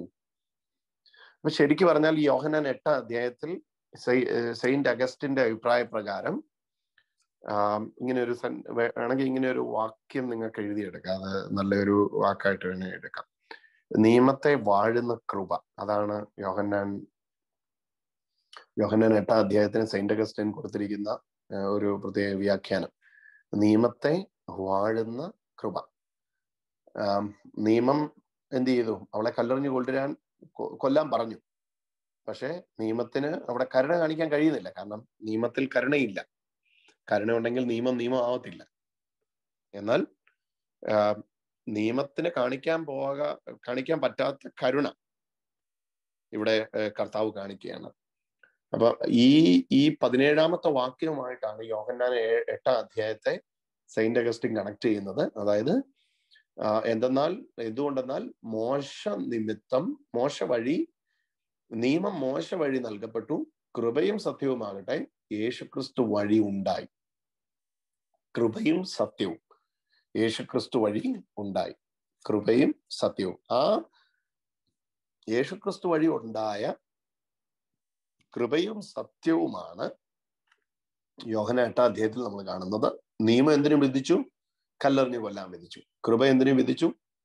അവളെ സ്വതന്ത്രമായി വെറുതെ വിട്ടു. അപ്പൊ വെറുതെ വിട്ടിട്ട് കർത്താവ് അവിടെ വാണിങ്ങി പറയുന്നുണ്ട്. ഇനിമേൽ എന്ത് ചെയ്യരുത്? പാപം ചെയ്യരുത്. അപ്പം പാപം ചെയ്ത വ്യക്തിയെ നിയമപ്രകാരം വെറുതെ വിടാൻ കഴിയുകയില്ല. അതുകൊണ്ട് അവർ പറഞ്ഞത് മോശയുടെ നിയമം ഞങ്ങളോട് പറയുന്നു കല്ലെറിഞ്ഞു കൊല്ലുക. പക്ഷെ കർത്താവ് അവിടെ കർത്താവിന്റെ കൃപ പ്രസിദ്ധമാക്കുകയാണ്. കൃപ കാണിക്കുകയാണ്. കൃപ കാണിച്ചിട്ട് പറയുകയാണ് ഞാൻ നിന്നെ വിധിക്കുന്നില്ല. നിയമം നിന്നെ വിധിച്ചു. ഞാൻ നിന്നെ വിധിക്കുന്നില്ല. പോയിക്കൊള്ളുക. ഇനി മേലാൽ പാപം ചെയ്യരുത്. അല്ലെങ്കിൽ ഇനി നീ പാപം ചെയ്യരുത്. അപ്പം കൃപ നിയമത്തെ വാഴുകയാണ്. കൃപ നിയമത്തെ വാഴുകയാണ്. അപ്പൊ അതുകൊണ്ടാണ് യോഹന്നാൻ ഒന്നാം അധ്യായത്തിൽ അവതരിപ്പിക്കുമ്പം കൃപയുടെ പുറകിൽ ഒരു പേഴ്സണെ വെക്കുന്നത്. എന്ന് പറഞ്ഞാൽ മോശ മുഖാന്തരം നിയമം വന്നു എന്ന് പറഞ്ഞിട്ട് യേശുക്രിസ്തു മുഖാന്തരം നിങ്ങൾ ആ വാക്യം ഒന്നുകൂടെ ഒന്ന് വായിക്കുമ്പോൾ ശ്രദ്ധിക്കുക. യോഹനാൻ സുവിശേഷത്തിന്റെ ഒന്നാം അധ്യായം. ഡോക്ടർ വായിക്കുന്നോ പതിനേഴാമത്തെ വാക്യം. എന്തുകൊണ്ടെന്നാൽ നിയമം മോശ വഴി നൽകപ്പെട്ടു കൃപയും സത്യവുമാകട്ടെ യേശുക്രിസ്തു വഴി ഉണ്ടായി. കണ്ടോ? നിയമം മോശ വഴി മോശ മുഖാന്തരം നൽകപ്പെട്ടു. Law was given by Moses and the grace given എന്നല്ല പറഞ്ഞു കെയിം ആണ്. ആ വ്യത്യാസം നിങ്ങൾ കാണുക. കൃപ നൽകപ്പെട്ടു എന്നല്ല പറഞ്ഞത് കൃപ യേശുക്രിസ്തുവിലൂടെ നൽകപ്പെട്ടു എന്നല്ല പറഞ്ഞത് കൃപയും സത്യവും യേശുക്രിസ്തു വഴി ഉണ്ടായി.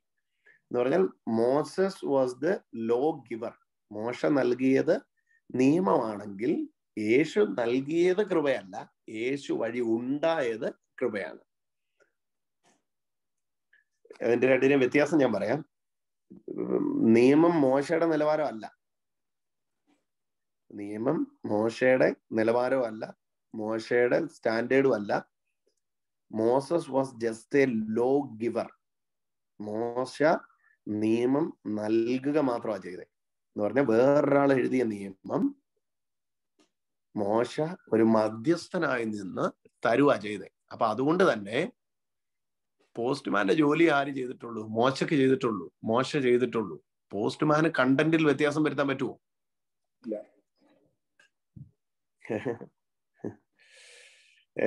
നമ്മുടെ റിജി പ്രിൻസിന്റെ ശ്രദ്ധിക്കുന്ന മോളുടെ പേരെന്നാ? മോന്റെ പേരെന്നാടാ മോനെ? Patricia Patricia okay. അപ്പം ആ, പ്രട്ടീഷ്യ എന്ത് പഠിക്കുന്നു? ഞാൻ BCom final year BCom final year പഠിക്കുന്ന പ്രട്ടീഷ്യക്ക് ഇതാ നോക്കൂ. അപ്പ പ്രട്ടീഷ്യയുടെ ഏതെങ്കിലും ഒരു കൂട്ടുകാരിക്ക് പ്രതീക്ഷ ഒരു ആം, കത്തെഴുതുകയാണെന്ന് ഇരിക്കട്ടെ. ഇപ്പൊ കത്തിന്റെ ഒന്നും ആവശ്യമില്ല അല്ലെ? ഒരു കത്തെഴുതുകയെന്ന് ഇരിക്കട്ടെ. ആ കണ്ടന്റിൽ വ്യത്യാസം വരുത്താൻ പോസ്റ്റ്മാന് കഴിയുകയില്ല. കാരണം അത് ബ്രിട്ടീഷ്യയുടെ പരമാധികാരത്തിൽ ഉള്ള കാര്യമാണ് എഴുതി അയക്കുന്നത്. ഇനി എനിക്ക് വേണേ ഒരു പോസ്റ്റ്മാൻ ആയിട്ട് നിൽക്കാം എവിടെ നിന്നാ? ബ്രിട്ടീഷയുടെ വീട്ടിൽ വന്ന കത്ത് വാങ്ങിയിട്ട് ബ്രിട്ടീഷയുടെ കൂട്ടുകാരി. കൂട്ടുകാരിയുടെ പേര് പറ. ആ നിസി. ആ നിസി. നിസിക്ക് ആ. പ്രട്രീഷ്യയുടെ കൂട്ടുകാരി ബ്രിട്ടീഷയുടെ കൂട്ടുകാരി നിസിക്ക് കൊണ്ട് കൊടുക്കാൻ എനിക്ക് പറ്റും. പക്ഷെ പ്രട്രീഷ്യ എഴുതിയ കത്തിന്റെ അകത്തെ കണ്ടന്റിൽ വ്യത്യാസം വരുത്താൻ എനിക്ക് പറ്റില്ല. കാരണം ആ കത്ത് എഴുതിയത് ഞാനല്ല. ഞാൻ കേവലം കൊണ്ട കൊടുക്കുന്ന ആളാണ്.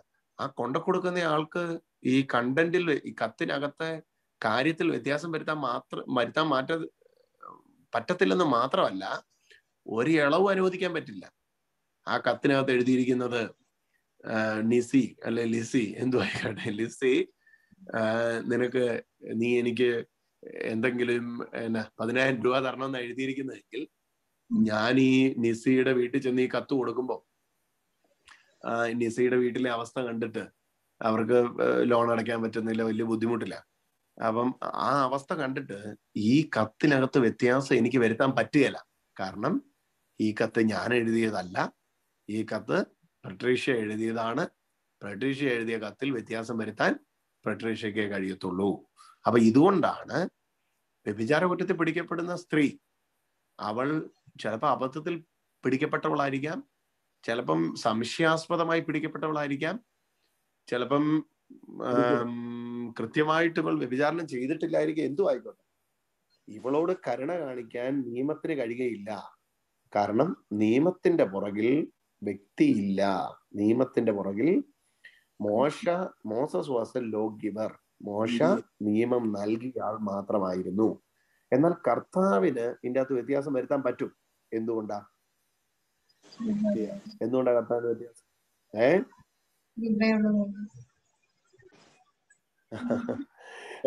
കർത്താവിന് വ്യത്യാസം വരുത്താൻ പറ്റുമെന്ന് പറയുന്നതിന് കാരണം ലോ എന്നത് ഒരു ഡോക്യുമെന്റ് ആണെങ്കിൽ ഗ്രേസ് എന്ന് പറയുന്നത് ഒരു പേഴ്സൺ ആണ്. കർത്താവ് ഒരു വ്യക്തിയാണ് ലോ ഗിവർ ആണ്.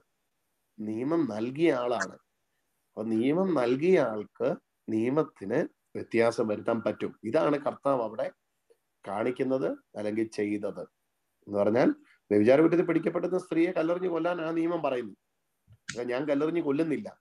അത് എനിക്കേ ചെയ്യാൻ പറ്റുള്ളൂ. കാരണം നിയമത്തിന് അത് ചെയ്യാൻ പറ്റില്ല. എനിക്കേ അത് ചെയ്യാൻ പറ്റുള്ളൂ. കാരണം ഈ നിയമം ഉണ്ടാക്കിയത് ഞാനാണ് ഈ നിയമം നിയമം എന്റെതാണ് കൺസെഷൻ വരുത്താൻ മാറ്റം വരുത്താൻ ചേഞ്ചസ് വരുത്താൻ എനിക്കേ പറ്റുള്ളൂ. മനസ്സിലായി കാണുമെന്ന് ചിന്തിക്കുന്ന ആ ഒരു പോയിന്റ് ഇത് ഈ ഒരു വ്യത്യാസമാണ് നമ്മൾ ഇതാണ് സെയിന്റ് അഗസ്റ്റിനെ കേട്ടോ ഇതിനിങ്ങനെ കോട്ട് ചെയ്യുന്നത്. സെയിന്റ് അഗസ്റ്റിൻ പറയുന്നത് നിയമത്തിന് എന്തുകൊണ്ട് കരുണ കാണിക്കാൻ പറ്റിയില്ല? നിയമത്തിന്റെ പുറകിൽ നിയമകർത്താവില്ലായിരുന്നു. നിയമത്തിന്റെ പുറകിൽ മോശ എന്ന നിയമം തന്നവൻ മാത്രമേ ഉണ്ടായിരുന്നുള്ളൂ. എന്നാൽ കൃപയുടെ പുറകിൽ കൃപാലുവായ ഒരു വ്യക്തി ഉണ്ടായിരുന്നു.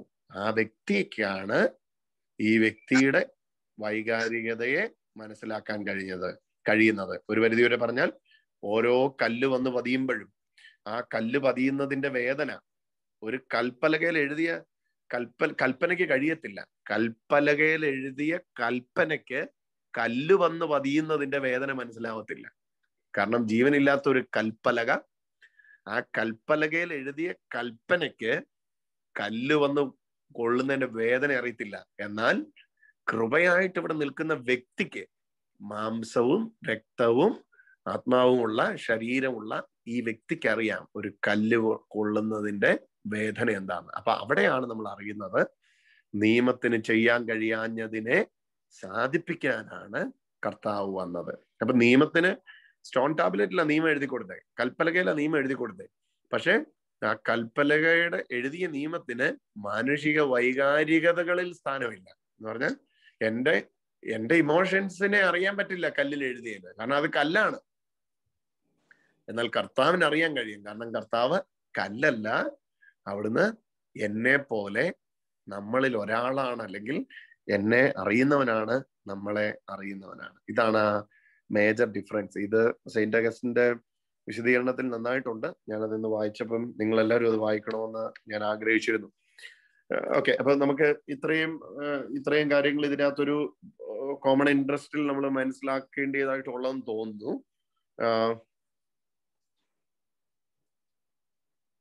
ഓക്കെ എന്തായിരുന്നാലും കർത്താവ് എന്തവിടെ എഴുതി എന്നുള്ളത് പ്രസക്തമല്ല. കർത്താവ് എങ്ങനെ പാപങ്ങളെ കാണുന്നു എന്നുള്ളത് ഇവിടെ വ്യക്തമാകുന്നു. അവിടുന്ന് പാപിയെ വെറുക്കുന്നില്ല. അവിടുന്ന് പാപത്തെ വെറുക്കുന്നു. അവിടുന്ന് പാപിയെ സ്നേഹിക്കുന്നു. അപ്പോഴും പാപിയോട് പറയുന്നു. അപ്പോഴും അവിടുന്ന് പാപിയോട് പറയുന്നു. ഇനി പാപം ചെയ്യരുത്. അപ്പം എന്നെ വെറുതെ വിട്ടല്ലോ. എന്നാൽ ഇത് പാപത്തിൽ തുടരാനുള്ള ഒരു അനുമതിയാണോ? അല്ല. അതുകൊണ്ടാണ് കർത്താവ് അവിടെ വ്യക്തമായിട്ട് പറയുന്നത്. ഇനിമേൽ നീ പാപം ചെയ്യരുത്. അവൾ പിന്നീട് പാപം ചെയ്തിട്ടുണ്ടോ ചെയ്തില്ലയോ അത് നമുക്കറിയില്ല. അത് നമ്മുടെ വിഷയത്തിൽപ്പെട്ട കാര്യമല്ല. അപ്പൊ നമുക്ക് എത്തിച്ചേരാൻ പറ്റുന്ന ഒരു ഉപസംഹാരം നമ്മൾ ഇത് എത്തിച്ചേർന്നാൽ ദൈവത്തിന്റെ കരുണയുടെ മുമ്പിൽ അല്ലെങ്കിൽ എത്ര എത്ര വലിയ പാപത്തിന്റെ അധമ പാതാളത്തിൽ കിടക്കുന്നവനെയും കുത്തിപ്പൊക്കാൻ അവനെ ജീവനിലേക്ക് കൊണ്ടുവരാൻ അവന്റെ ഒരു മനസ്സുണ്ടെങ്കിൽ എന്റെ ദൈവമേ എന്ന് വിളിക്കുന്ന ഒരു നിമിഷത്തിൽ അവനെ തിരിച്ചു കൊണ്ടുവരാൻ സ്നേഹവാനായ ദൈവത്തിന്റെ കരം നീണ്ടു തന്നെ ഇരിക്കുന്നു. അവിടെ നമ്മെ ഉപേക്ഷിക്കുവാൻ ഇഷ്ടപ്പെടുന്നില്ല. നമ്മളാണ് ദൈവത്തെ ഉപേക്ഷിക്കുന്നത്. ഈ ദൈവം നമ്മെ ഉപേക്ഷിക്കുന്നില്ല. അവിടുത്തെ സ്നേഹം നമ്മുടെ ചുറ്റിലും എപ്പോഴും നാം കാണുന്നുണ്ടെങ്കിലും കാണുന്നില്ലെങ്കിലും അറിയുന്നുണ്ടെങ്കിലും അറിയുന്നില്ലെങ്കിലും അവിടുത്തെ സ്നേഹം നമ്മുടെ ചുറ്റിലും എപ്പോഴും ഉണ്ട് എന്നുള്ളത് ഈ ഉദാഹരണത്തിലൂടെ കാര്യങ്ങൾ പരിശുദ്ധാത്മാവ് നമ്മുടെ ഹൃദയങ്ങളിൽ വ്യക്തമാക്കി തരികയാണ്. ഇതിന്റെ അകത്ത് ഇനി രണ്ട് മൂന്ന് ആപ്ലിക്കേഷൻസിനെ ഞാൻ പറഞ്ഞാൽ ഇങ്ങോട്ട് ശ്രദ്ധിക്കും. പല സന്ദർഭങ്ങളിലും എനിക്കും നിങ്ങൾക്കും ഉണ്ടാകാൻ സാധ്യതയുള്ള ഒരു വിധിയുടെ മേഖലയാണ് ഒരു വിധിയുടെ മേഖലയാണ് ആദ്യമേ കർത്താവ് ഇവിടെ നമ്മോ നമ്മിൽ നിന്ന് എടുത്തു മാറ്റാൻ താല്പര്യപ്പെടുന്നത്. ഞാൻ എത്ര വലിയ പാപം ചെയ്തവനാണെങ്കിലും സാരമില്ല. എന്നേക്കാൾ വലിയ എന്നേക്കാൾ ചെറിയ പാപം ചെയ്തവനെ വലിയ പാപം ചെയ്ത ഞാൻ മുമ്പിൽ നിന്ന് വിധിക്കുന്ന എന്നിലെ ആ വിധിയുടെ അവസ്ഥയിലേക്ക് ദൈവത്തിന്റെ വചനം കടന്നു വരികയാണ്. മറ്റൊരർത്ഥത്തിൽ പറഞ്ഞാൽ എന്റെ കണ്ണിലിരിക്കുന്നത് വലിയ കോലാണ് അപ്പോൾ തന്നെ ഞാൻ കൂട്ടുകാരന്റെ കണ്ണിൽ കരടെടുക്കാൻ പോവുകയാണ്. ഇതിനെ വേറെ അർത്ഥത്തിൽ പറയുമ്പോൾ ഇങ്ങനെ പറയാം. ഹൃദയം കൊണ്ട് വ്യഭിചാരം ചെയ്തവൻ ശരീരം കൊണ്ട് വ്യഭിചാരം ചെയ്തവളെ എറിയാൻ പോവാണ്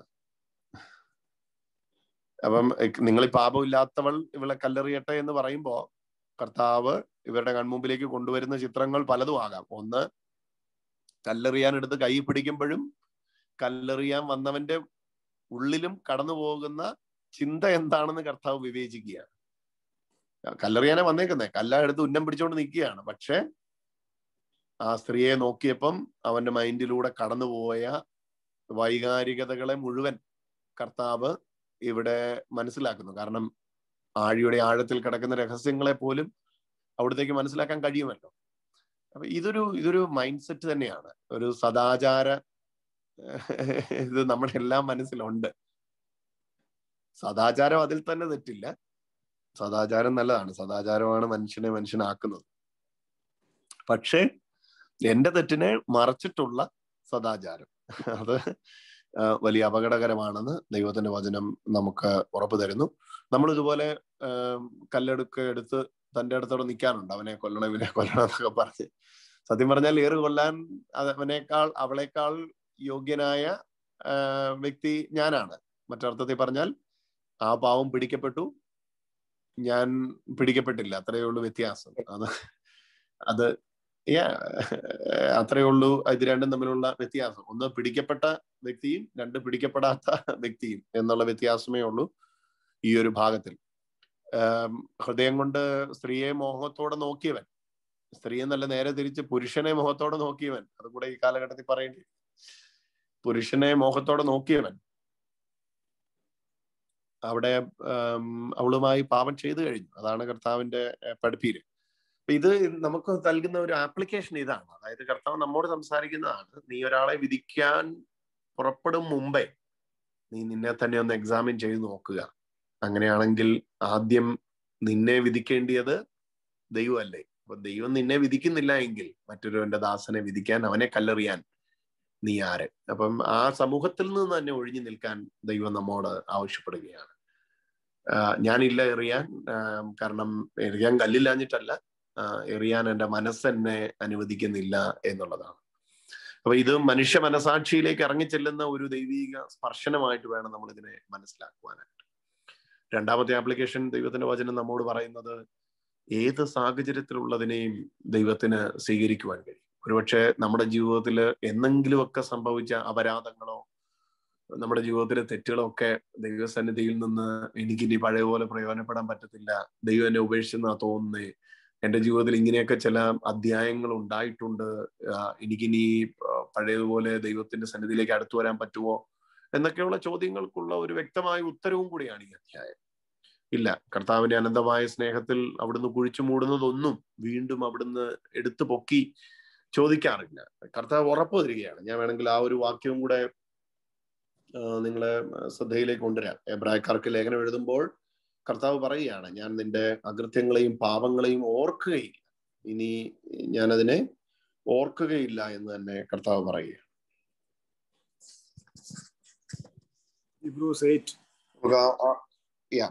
അതോടൊന്ന് വായിച്ചേക്കാം. ഹെബ്രായ ലേഖനത്തിന്റെ എട്ടാം അധ്യായത്തിൽ എട്ടാം അധ്യായത്തിന്റെ ഇരുപത്തി ഒന്നാം വാക്യല്ലേ ഡോക്ടർ സോറി പന്ത്രണ്ടാമത്തെ വാക്യം പന്ത്രണ്ടാമത്തെ ഫെബ്രുവരി എട്ട് പന്ത്രണ്ട്. അവരുടെ അനീതികളെ അനീതികളുടെ നേർക്ക് ഞാൻ കരുണയുള്ളവനായിരിക്കും. അവരുടെ പാപങ്ങൾ ഞാൻ ഒരിക്കലും ഓർക്കുകയുമില്ല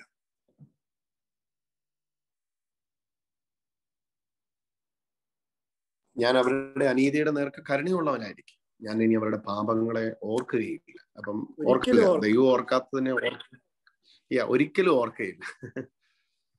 യാ ദൈവം ഓർക്കാത്തതിനെ ഓർത്തോട് നടന്ന് വെറുതെ കുറ്റബോധം പേറി നടക്കേണ്ട ആവശ്യമില്ല.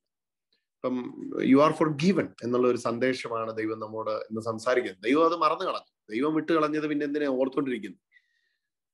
അത് ഇന്ന് ഇന്നും എന്നെ ഇന്നും എന്നെ അത് പുറകോട്ട് വലിക്കുന്നു. അങ്ങനെ പുറകോട്ട് വലിക്കേണ്ട ആവശ്യമില്ല. ആ അധ്യായം ദൈവസന്നിധിയിൽ ഏറ്റു പറഞ്ഞ് ഉപേക്ഷിച്ചു.